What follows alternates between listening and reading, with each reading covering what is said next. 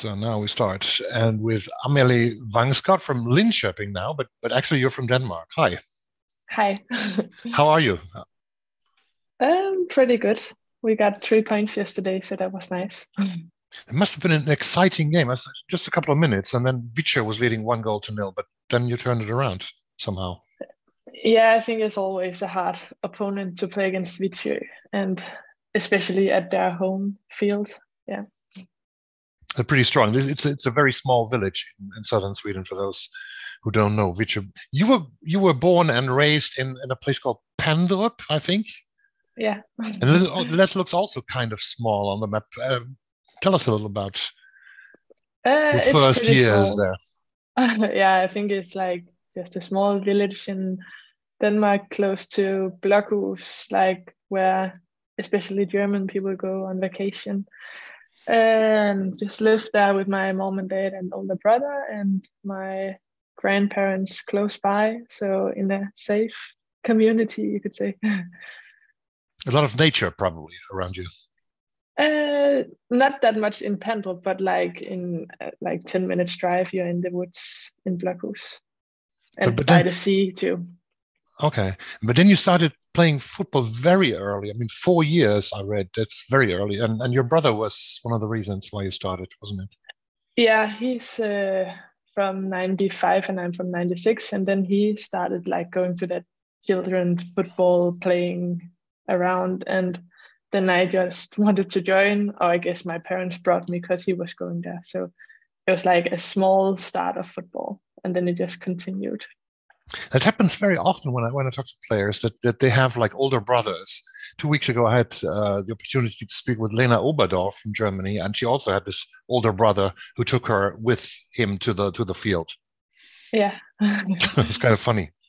But then you started doing it for real, and, and some they realized that you have a talent that is maybe a little bit more than uh, average. When was that? when when did it turn for you to the more elite mm, kind of thing? I think my parents and people around always saw that I was maybe some steps in front of my own age in from the town I was in, uh, and then about I was I think I was twelve or thirteen.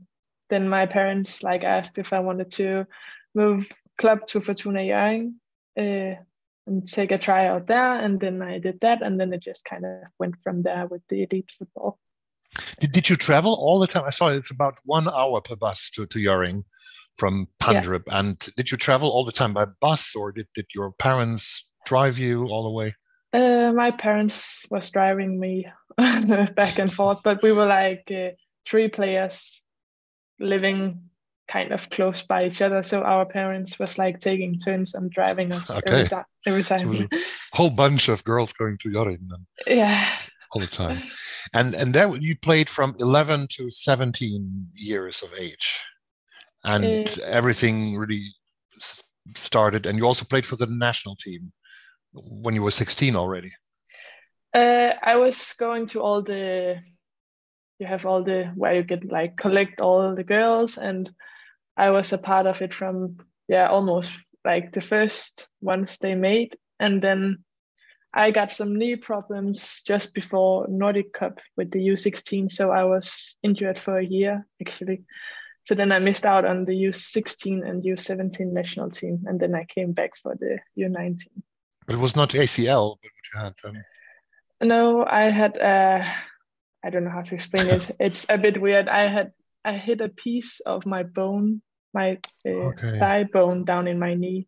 Oh my god! I had to get back on my mm. knee. that sounds sounds horrible. But then, then I, I read twice on, on two interviews that you've given that then somehow you stopped playing football. I don't see that on Wikipedia because Wikipedia, if you look at Wikipedia, you, you go just like from 2008 in Hjørring to 2022. And, and you went yeah. to Bell, Ballerup Skovlunde Football in Copenhagen. Uh, that's also kind of a funny story. I wouldn't count it in. Okay. Because they were they needed players, and I didn't want to play football, so I said like I can come for the games, and then, but I'm not going to train football. So it okay. was more like playing games. so that wasn't that phase of your life when, when there was really the danger or the risk that you would stop forever. Uh, yeah, I think at that point I was still like thinking I would never get back to football. And how, how old real. were you then? I must have been, oh, I don't know, maybe. I think I stopped when I was 19, 18, 19, 20, something. but all those to... years is kind of blurred, if it makes sense. but that happens to quite a lot of girls in football. I mean, there's so many talents like you. If, if we would have lost you, like in, in, in the sports, it would have been a great pity, uh, seeing what you what you are capable of doing. But we lose so many other talents, don't we, in, in that age span? Yeah. Girls yeah, who don't think, come back. Yeah, I think so, and I think looking back in my in my youth in Fortuna Hjørring, where we had a lot of good players. I think we were like about 90 when we were the most players. And I don't think that many plays now. So mm. we lose a lot of players going from maybe youth football to the senior football. Yeah. And, and why did you why, why did you lose the the fire? Was that because you did too much, like from the age of four? You did more or less nothing else than playing football? Yeah, maybe. And then I think maybe also being injured can be hard mentally, and then maybe having a bad, or not a bad, but a hard time coming back uh, mentally. Uh, and then I think just a step from going from youth to senior football is a big step in a club like Fortuna Hjørring, where at that moment I was competing with uh, almost only a national team players and I was like 17 so it was a mm. hard competition uh, so I think the time I spent on the bench didn't like add up for the things I wanted to do outside of football is, is there too much pressure on, on on football players today? What do what do you think? I mean, even now you are in a different situation, obviously, but but you look around and you see others. And uh, is there a lot of pressure now that everybody says that women's football now is rising, it's getting stronger, it's getting bigger, and forty thousand people will see Tottenham against Arsenal, I think, in two weeks now from now. But is the pressure also rising for you guys, you mm. girls playing?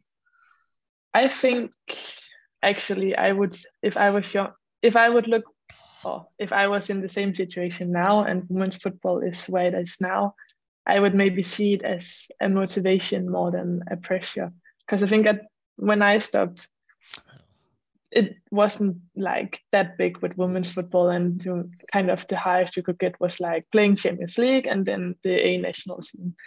Uh, where I think now the opportunities are opening up, and I think it makes it easier kind of to get out and try something new than it was those years ago. That's, that's true. Um, you can dream bigger. Yeah, and I think that's good to use that as a motivation. And but I think definitely there is a pressure on football players in every age. So I think it's maybe just about being patient sometimes. But that's also something I think about. Uh, I, thought, I thought about it today when I was thinking about questions to ask you. That, for example, in your case, you came to Linköping and you you have said yourself, I scored never so many goals in my life before than I do now. 18 goals in 19 games, which is amazing, and you lead the the uh, scoring sheets in Sweden. Um, so people are always asking. I'm not going to ask that question to you now because, but I think many other journalists were asking you that question. Where, what is your next step? Where are you going from here? Instead of maybe saying just enjoy where you are. Mm. i think i'm focusing most on just being where i am and then i will my agent and i have a good communication and when we feel like it's the right step of course i'll look at it but i'm not i'm really happy to be in linköping so i'm not going to leave to just leave them. What, what brought you back to football and then what brought you to sweden then uh, Brian Sørensen, who is the coach of Everton, actually, because uh, he was the coach I had in Fortuna when I stopped, and then he was kind of the guy who called me and asked if I wanted to start again. Uh, and I think he knew how to just handle me, mm-hmm. kind of. uh, so it became like the perfect start to get back. But then you were in Copenhagen, in, in uh, Nordsjælland is also Copenhagen. Yeah, like a bit outside. Yeah. Hmm.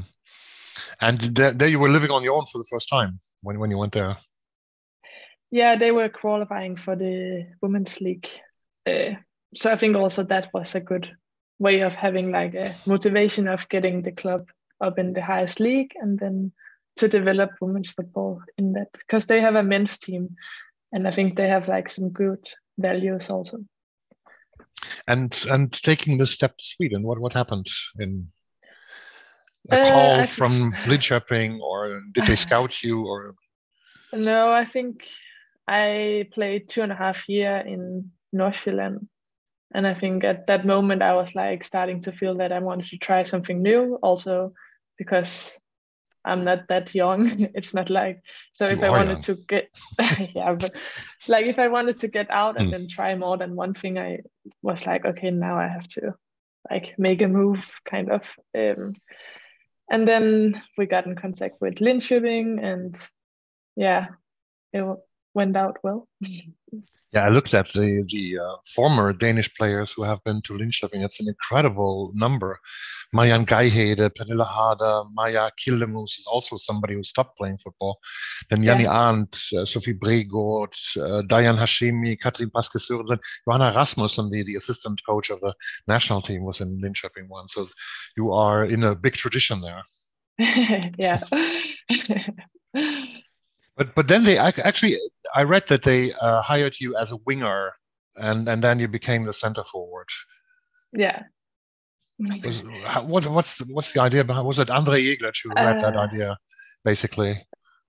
I think it was actually mostly Brian's idea because okay. I I've always been like an offensive player and mostly attacker actually or a wing. Um, but then I tried the wing back in Nordsjælland and then I played that for some time and then went to Linköping as a wingback.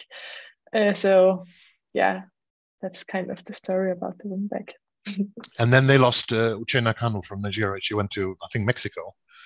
Yes. And they needed somebody else to score goals. Yeah.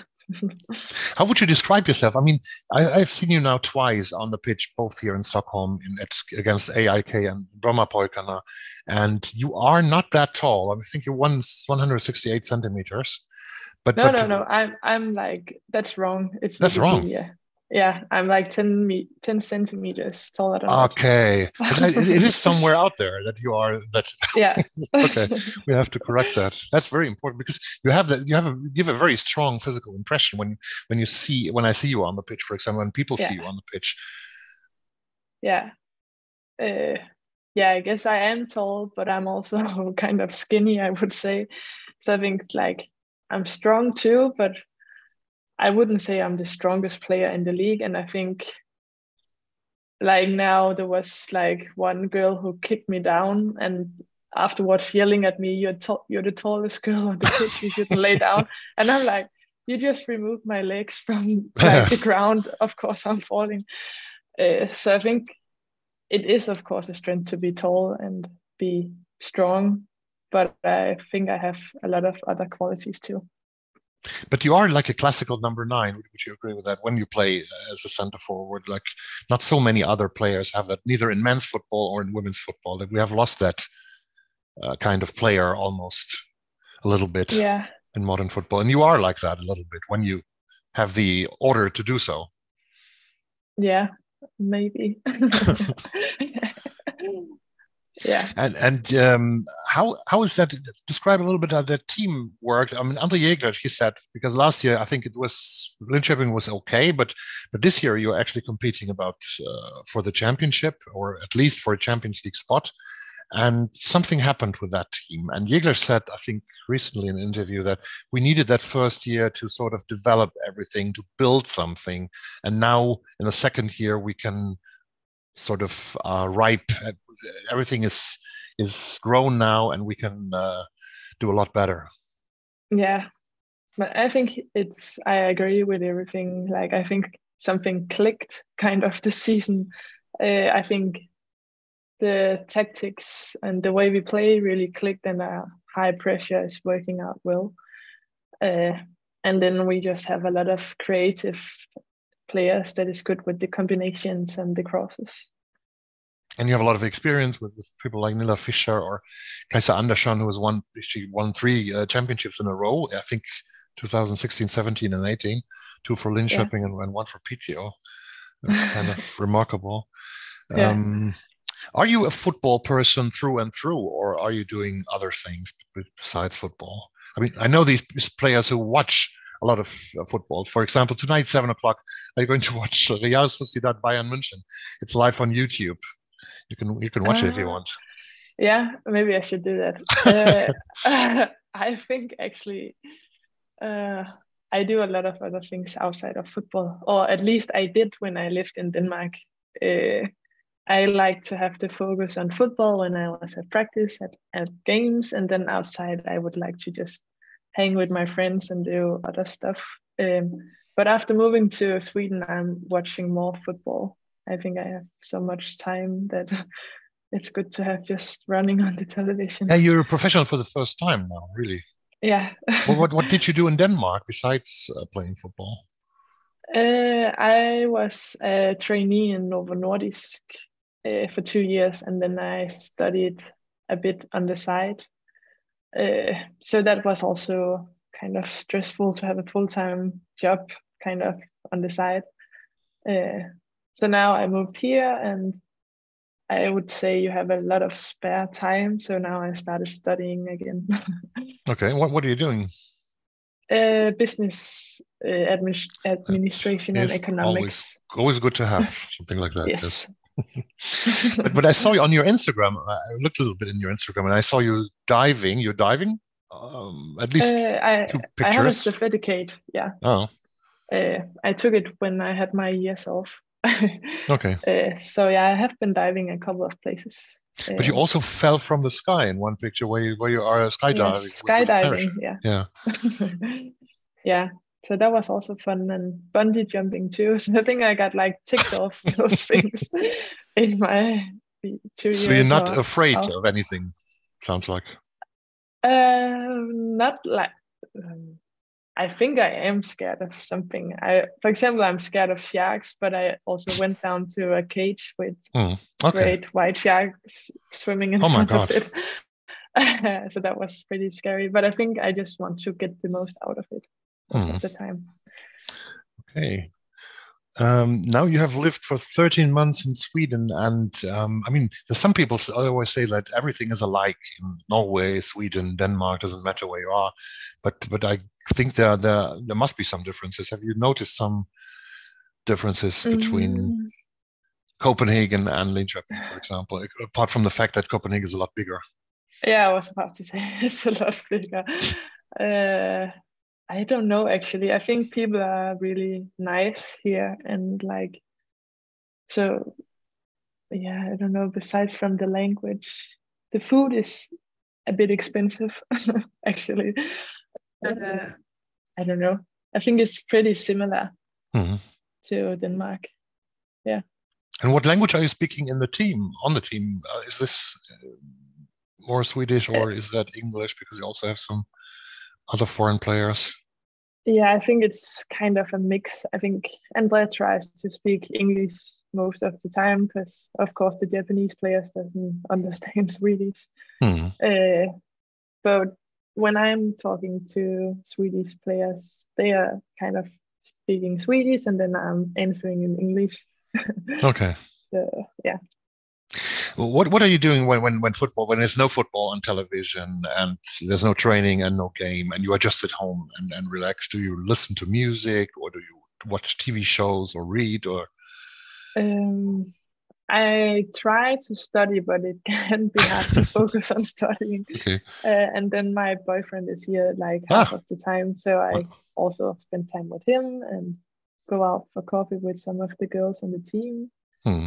Uh, but otherwise I just like relax and watch reality or something. Hmm. Okay. Yeah. I think that was almost everything. I'm thank you very much. It was a very nice conversation with you. And yeah, you. And uh, I see you actually on Monday when you come to Hammarby. It's going to be a tough game as well. Yeah. Here in Stockholm. Yeah, but they have uh, also the cup game tomorrow. I think. Yes, mm, exactly. Norrköping, yeah. Yeah, against Norrköping. Thank yeah. you very much, and, and all the best to you. Bye bye. Yeah, thank you. Bye. Bye.